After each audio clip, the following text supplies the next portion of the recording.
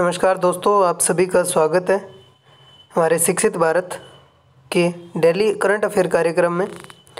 आज का हमारा क्वेश्चन है कि प्रसिद्ध e commerce company Alibaba group के संस्थापक कौन है? तो इसके सही आंसर है जेकमा।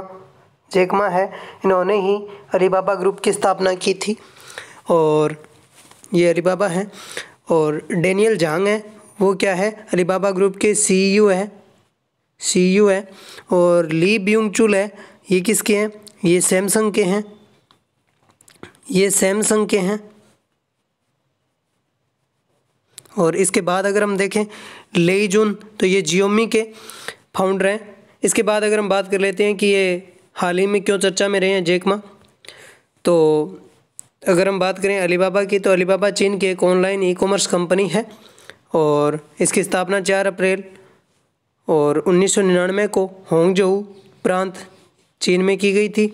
इसके संस्थापक जेकमा जेकमा अभी चर्चा में रहने का कारण है कि जेकमा पिछले दो माह से अधिक समय से कहीं भी सार्वजनिक मंच पर नहीं देखे गए हैं और लोग उन्हें बोल रहे हैं, मीडिया रिपोर्टों के अनुसार कि वो गायब हो चुके हैं दो महीने से।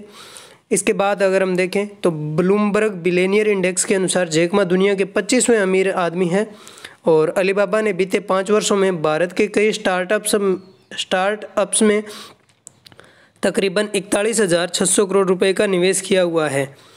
तो अगर ऐसा कुछ कदम उठाया जाता है, क्योंकि ये ऐसा भी माना जाता है कि इन्होंने पिछले कुछ समय में चीन गवर्नमेंट के विरोध में कुछ स्टेटमेंट दिए थे, जिसके बाद इनको कहीं पर भी सार्वजनिक मंच पर नहीं देखा गया है। अगर ऐसा कुछ है तो भारत में किए गए निवेश पर भी बुरा प्रभाव इसका पड़ सकता है। इसके बाद हम अगला क्वेश्चन देखते हैं।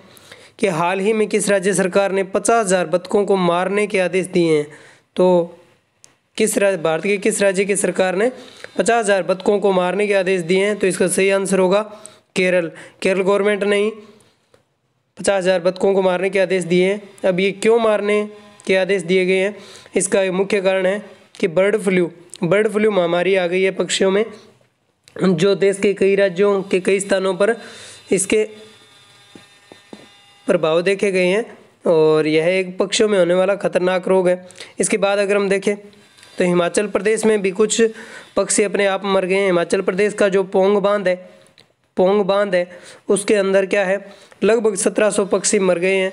इसके बाद मध्य प्रदेश में भी लगभग कुछ 500 से अधिक संख्या में बुगलों की मौत हुई है और राजस्थान में भी 450 से अधिक कौवों की मौत हो गई है और इसके बाद केरल सरकार ने यह कदम उठाया है।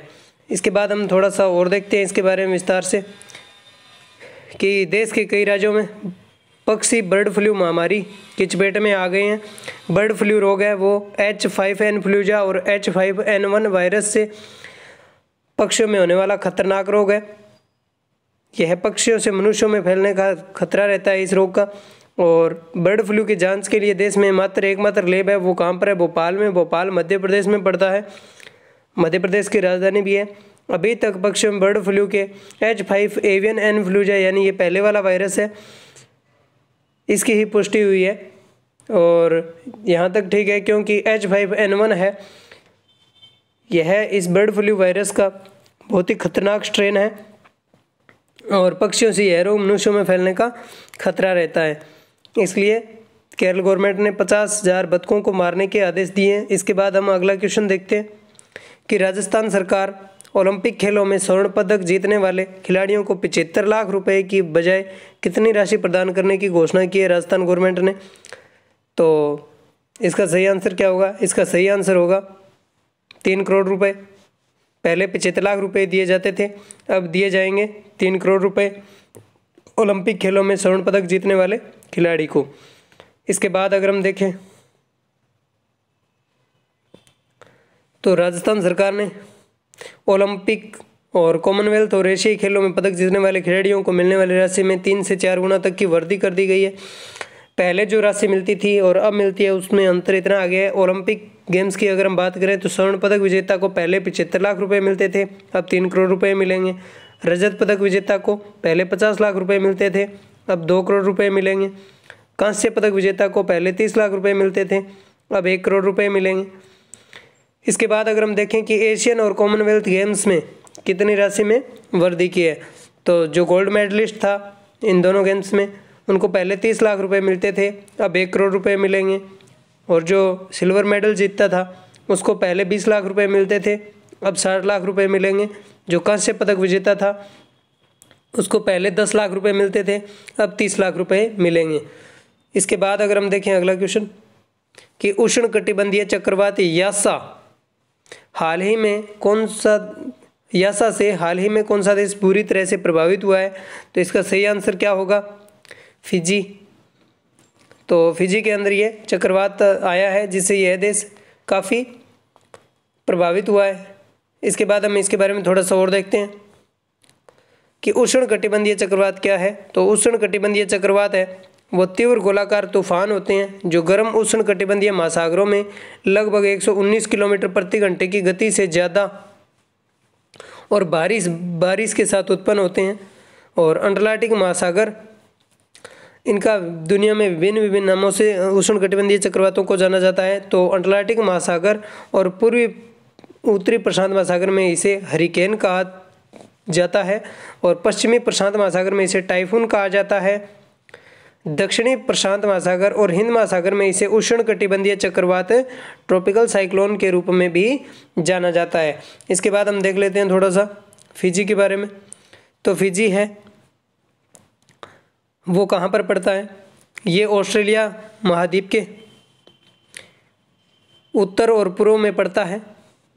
ये यहाँ पर है और इसके जस्ट ही उत्तर की तरफ़ न्यूजीलैंड पड़ता है और यहाँ पर इसके पूर्व की ओर पड़ता है। वो पापुआ न्यू गिनी है और पापुआ न्यू गिनी के पूर्व की ओर इंडोनेशिया पड़ता है। अगर हम बात करें फिजी की, अगर हम बात करें फिजी की तो फिजी एक लगभग तीन सौ द्वीपों वाला देश है और ये दक्षिणी प्रशांत महासागर में स्थित है और इसकी राजधानी है, वो सुवा है और इसकी जो करेंसी है, मुद्रा है, वो फिजियन डॉलर है और यह ओसेनिया क्षेत्र में पड़ता है और इसके जो राष्ट्रपति है, वो जियोजी कॉनरोटे हैं। जियोजी कॉनरोटे इसके प्रेसिडेंट हैं और इसमें फिजी का जो उष्ण कटिबंधीय चक्रवात आया है, उसमें फिजी का जो वेन्यू लेवू द्वीप है, वो सबसे ज़्यादा प्रभावित हुआ है। और इसके बाद अगर हम देखें तो अगला क्वेश्चन हमारा कि हाल ही में डिजिटल पेमेंट इंडेक्स जारी किसने किया है? तो यह किसने जारी किया है? तो इसका सही आंसर होगा Reserve Bank of India. Reserve Bank of India ने जारी किया है।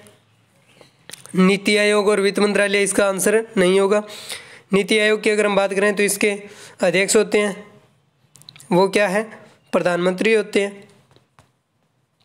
अभी नरेंद्र जी मोदी है।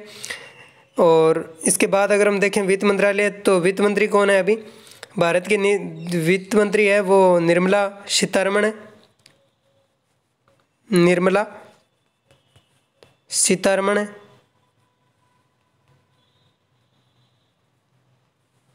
इसके बाद अगर हम देखें तो डिजिटल पेमेंट सर्विसेज़ के आकलन के लिए आरबीआई द्वारा इसको लॉन्च किया गया है। और अगर हम बात करें, सुगम भुगतान भुगतान के लिए मांग आधारित बुनियादी ढांचा, आपूर्ति आधारित बुनियादी ढांचा, भुगतान प्रदर्शन व उपभोक्ता केंद्रित इसके, उपभोक्ता केंद्रित सेवा इसके प्रमुख मापदंड है। इसके आधार पर इस इंडेक्स को लॉन्च किया गया है। अगर हम बात करें आरबीआई की तो इसका पूरा नाम रिज़र्व बैंक ऑफ़ इंडिया है। इसकी स्थापना 1 अप्रैल 1935 को की गई थी।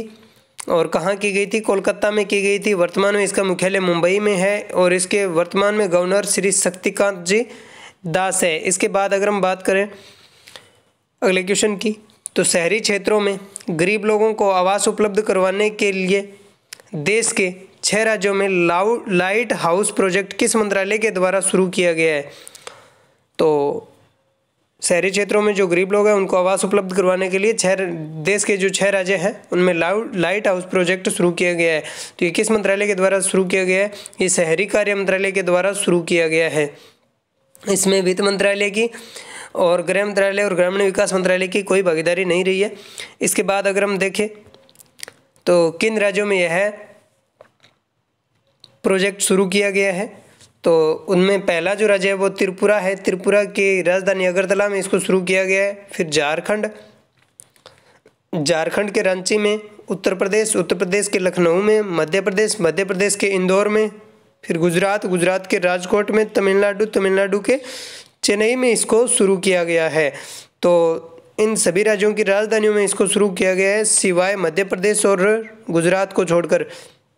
मध्य प्रदेश की राजधानी भोपाल है और गुजरात की अहमदाबाद है।